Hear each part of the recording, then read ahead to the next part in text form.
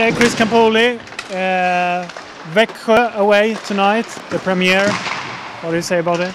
It's exciting. I think it's a great challenge for our team.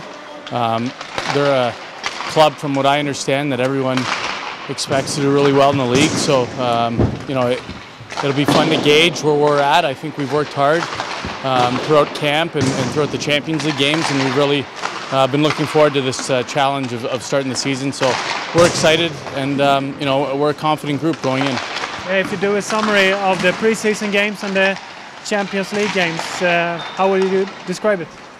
I think it was good. You know, we, we had our ups and downs, but I think it's early in the season, and uh, you know every team would. I think I think we had more ups and downs, and I think um, you know there's a lot of things we can really build off. Our special teams has been very good, our power play, and that's going to be key for us throughout the season and uh, the success we're going to have. So uh, we'd like to pick up where we left off uh, from the Champions League regarding that, and uh, if we do, I think we're going to have success.